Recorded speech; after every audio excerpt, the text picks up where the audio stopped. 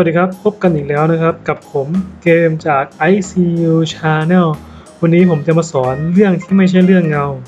ไม่ใช่เรื่อง Paper Cut แต่เป็นเรื่องการทำกรอบรายจีน เพื่อไม่เป็นการสาวิเลียหรือเสียเวลาก็มาเริ่มกันเลย ขั้นตอนที่หนึ่งนะครับให้เราเปิดตารางกริดขึ้นมา โดยให้เราไปที่วิวแล้วก็โชว์กริดหรือ อย่างง่ายนะครับ ก็คือให้เราคลิกขวาแล้วกดโชว์กริดแต่ว่าตอนนี้ผมโชว์ไปแล้วมันก็เลยขึ้นคำว่า high กริดลองกดดูก็ได้นะครับน่าเห็นไหมมันก็จะซ่อนกริดลงไปแล้ว ถ้าเราอยากโชว์กริดขึ้นมาแล้วก็คลิกขวา แล้วคลิกคำว่าโชว์กริด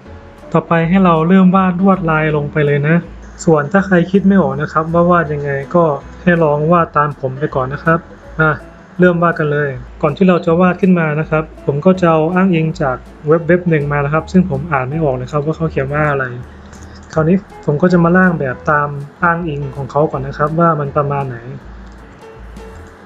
อ่าอันนี้ผมก็ถอดแบบจากอ้างอิงออกมาแล้วนะครับ ว่าเป็นประมาณนี้ โอเคนะ คราวนี้ผมจะมาวาดลงกลิ่นนี้นะครับ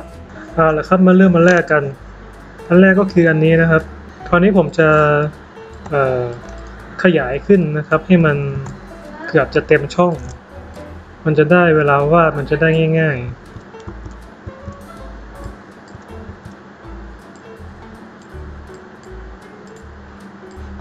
เราก็ดูแบบนะครับว่าเราจะวาดประมาณไหน เดี๋ยวเอานนี้ออกไปก่อน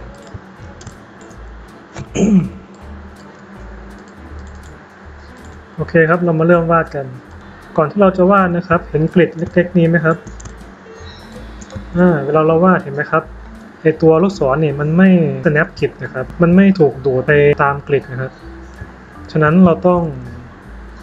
ไปที่ view แล้วก็หาคำว่า snap to grid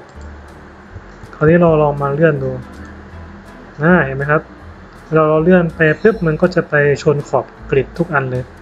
เห็นไหมครับ เห็นไหม ชนตามกริดเลย อ่า ลองมาวาดดู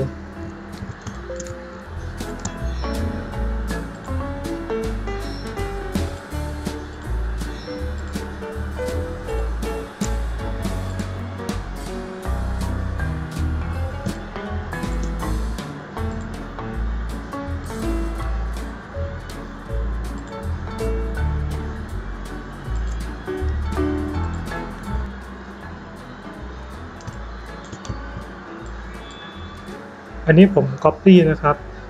โดยการกด Alternate แล้วก็ชิปค้างไว้ แล้วก็ลากออกมาตอนนี้เราก็ทำการสลับ ไปที่ Transform กด Reflex นะครับ แล้วกดโอเคเลย ใช้ Axis แบบ Vertical ต่อไปครับเราก็วาดขีดตรงกลางนี้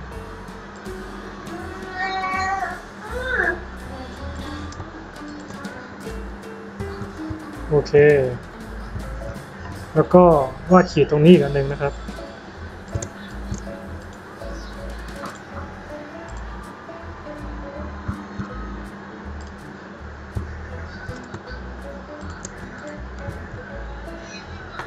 โอเคนะครับก็ประมาณนี้ จากนั้นพอทำเสร็จให้เรากรุ๊ปกันไว้นะครับ โดยการลากคุมดำแล้วก็กด Ctrl G หรือว่าคลิกขวาไปที่กรุ๊ปนะครับ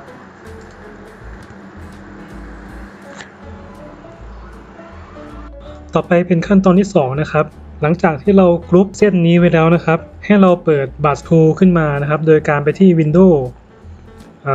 บัตรนะครับ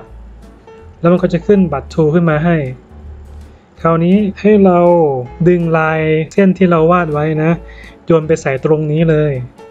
นี่นะครับ ตรงไหนก็ได้นะครับในช่องนี้ จากนั้นมันจะขึ้นหน้าต่าง New Brush ให้เลือก Pattern Brush กดโอเค มันจะขึ้นหน้าต่าง Pattern Brush Option ให้เราปรับตามนี้เลยนะครับ พอปรับเสร็จแล้วให้เรากดโอเคอ่าเห็นไหมครับมันก็จะขึ้นบัตรของเราขึ้นมา อันนี้เป็นอันเดิมนะครับที่ผมทำไว้ผมลบทิ้งก่อน โอเค อันนี้คือบลัชของเรานะครับ Pattern Brush 1 ต่อไปขั้นตอนที่ 3 นะ ให้วาดวงกลมขึ้นมา นี่นะครับวงกลม จากนั้นให้ปรับสีเป็นแบบสโตกนะครับนี่ครับแบบสโตกแล้วให้เราเลือกบัตรที่เราสร้างขึ้นนะครับ ก็คืออันนี้เห็นไหมครับ pattern brush หนึ่งคลิกเข้าไปเลยอ่าเห็นไหมครับ มันก็จะกลายเป็นลวดลายที่เราสร้างไว้แล้วแบบต่อเนื่องกันนะ คราวนี้ให้เราลองเพิ่มลดขนาดตามความสวยงามนะครับ ผมก็จะลดลงปึ๊บปึ๊บปึ๊บอ่าประมาณนี้โอเค แล้วแต่คนชอบนะครับ แล้วก็แล้วแต่ลักษณะงานด้วยนะ จากนั้นให้เรากด Object Expand Apparent โอเค ต่อไปเป็นขั้นตอนที่ 4 อย่างแรกเลยนะครับ ให้เราปิดกริดออกไปโดยการไปที่ View แล้วคลิกคำว่า High Grid ต่อไปให้เรากลับไปที่ View แล้วคลิกคำว่า Snap to Grid ออกไป พอเราปิดกริดแล้วก็ปิด Snap Grid ออกไปนะครับ ให้เราทำการลงสีได้เลย คลิกที่แพทเทิร์นวงกลม ใส่สีแบบสโตรกที่เป็นเกรเดียนขาวดำนี่นะครับ ใส่สีแบบสโตรกที่เป็นแบบเกรเดียนแล้วเราก็เลือกขาวดำ white and black ปรับไทป์เป็น radius gradient ปรับ stroke เป็น apply gradient across stroke ปรับสีดำให้เป็นสีดำแท้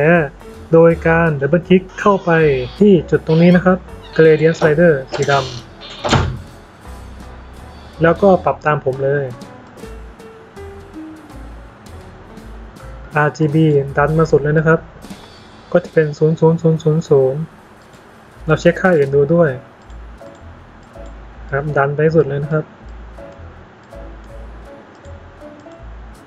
โอเค RGB ก็พอแล้วนะครับ แล้วปรับสีขาวให้เป็นสีอะไรก็ได้นะ แต่ว่าตอนนี้ผมขอใช้สีขาวก่อนนะครับ โอเคเป็นสีขาวแล้ว ต่อไปเพิ่มจุดที่ gradient slider แล้วดึงตามผมไปก่อนนะ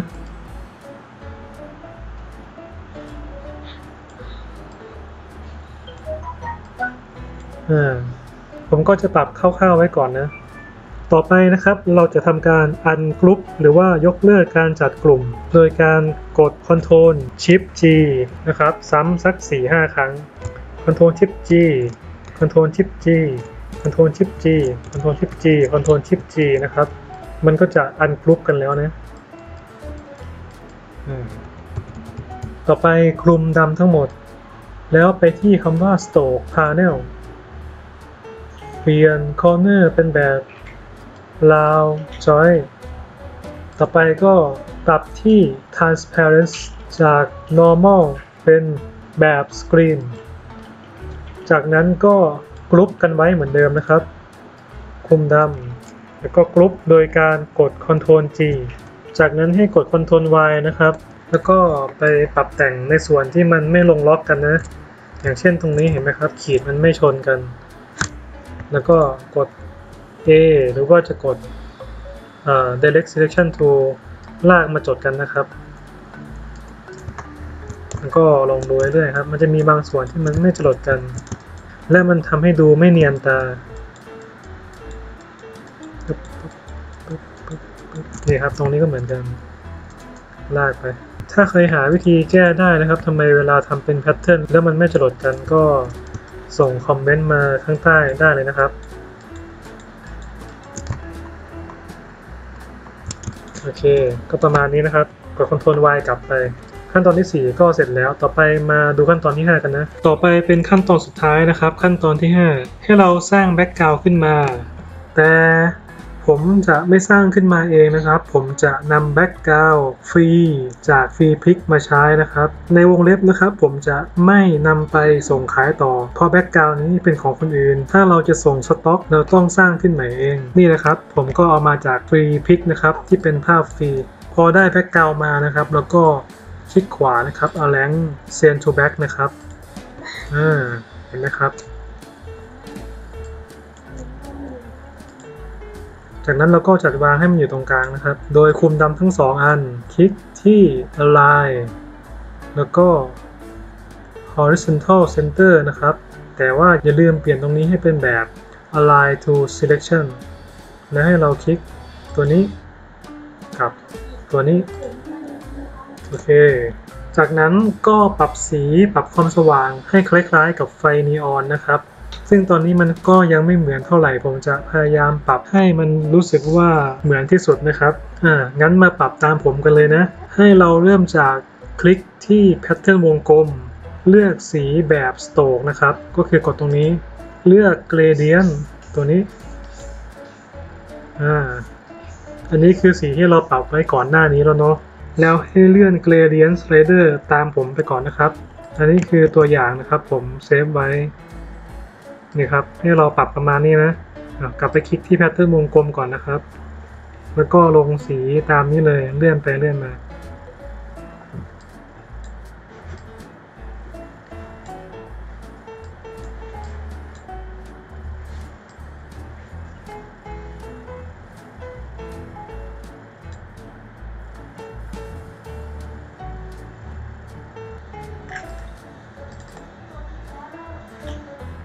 วงที่หนึ่งนะครับ ค่ามันก็จะเป็น f f f f f ส่วนวงที่สองนะครับ ค่าก็จะเป็น 7 7 7 7 7 7 ส่วนวงที่สามนะครับ ค่าก็จะเป็น 0 0 0 0 0 0 0 ต่อไปก็ให้เราปรับขนาดสโตกขึ้นนะครับ ก็คือตรงนี้จาก 6 ก็เพิ่มขึ้นประมาณออลองดูก็ได้ครับ ของผมก็จะประมาณนี้นะครับ เป็นค่า 11 ถ้าค่ามันสูงกว่านี้มันจะเกิดเขาเรียกว่าเห็นไหมครับ มันจะเป็นขอบดำๆผมก็เลยปรับประมาณ 11 ก็พอ หลังจากนั้นเราก็ลองมาเช็คดูนะครับว่าแพทเทิร์นของเรานี้มันมีอะไรที่แปลกๆหรือเปล่า แล้วก็เลื่อนดู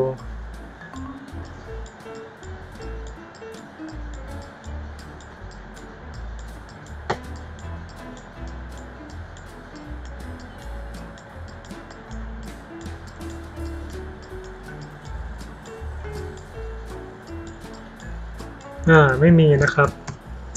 คราวนี้เราก็มาเพิ่มแสงความสว่างเข้าไปนะครับ ลองปรับตามผมได้เลยอ่าครับผมก็จะวาดเส้นวงกลมขึ้นมาเส้นหนึ่งนะครับ ลงสีแบบเกรเดียนไว้เลยนะครับ ตรงนี้วาดเส้นขึ้นมาลงสีแบบเกรเดียนไว้เลย โดยไปที่อ่า ellipse tool วาดวงกลมขึ้นมา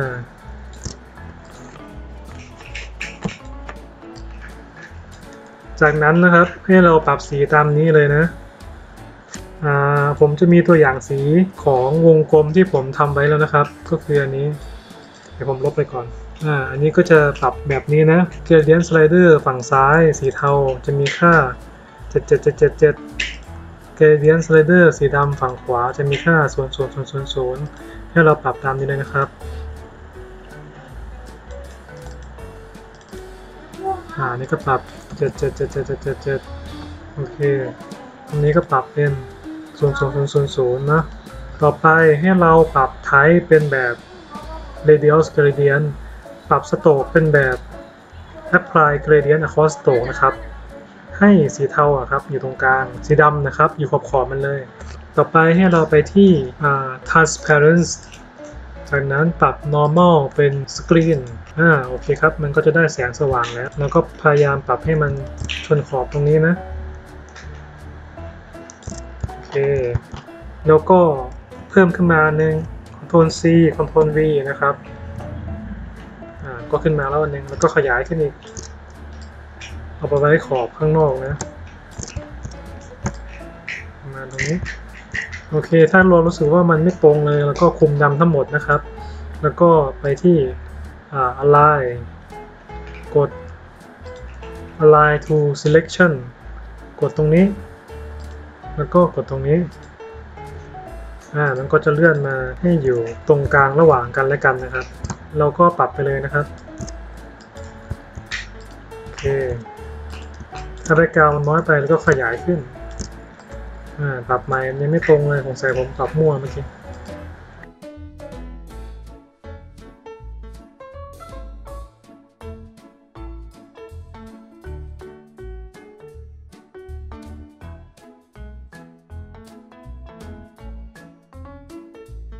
อเสร็จแล้วเราก็ขยายตามอาร์ตบอร์ดของเราเลยนะครับที่เราสร้างไว้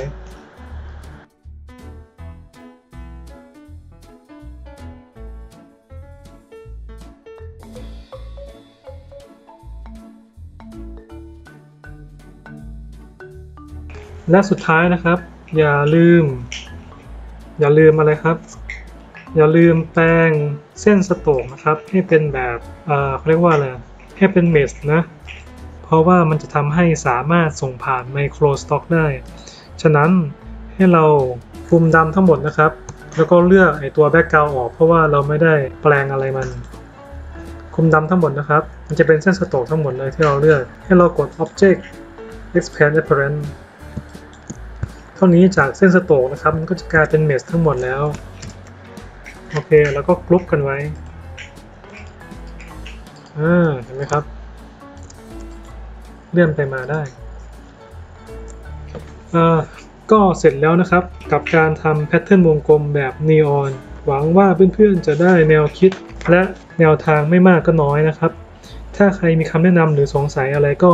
คอมเมนต์ไว้ใต้คลิปได้เลยนะครับ อีกอย่างหนึ่งนะครับ ผมจะใส่ลิงก์ไฟล์ไว้ให้นะครับ เป็นตัวอย่างสำหรับเพื่อนๆนะครับ ที่ใครไม่เข้าใจนะครับ ก็สามารถเอาไฟล์นี้ไปแกะตัวได้นะครับแต่อย่าเอาไปส่งขายต่อนะครับ มันจะผิดกฎนะครับ ผมสำหรับคลิปนี้นะครับ ก็ลากันไปก่อน เจอกันคลิปหน้านะครับ สวัสดีครับถ้าทุกคนที่ชอบช่วยกดไลค์และ subscribe ส่วนถ้ามีคำแนะนำหรือคำถาม ก็คอมเมนต์ไว้ใต้คลิปได้เลยครับ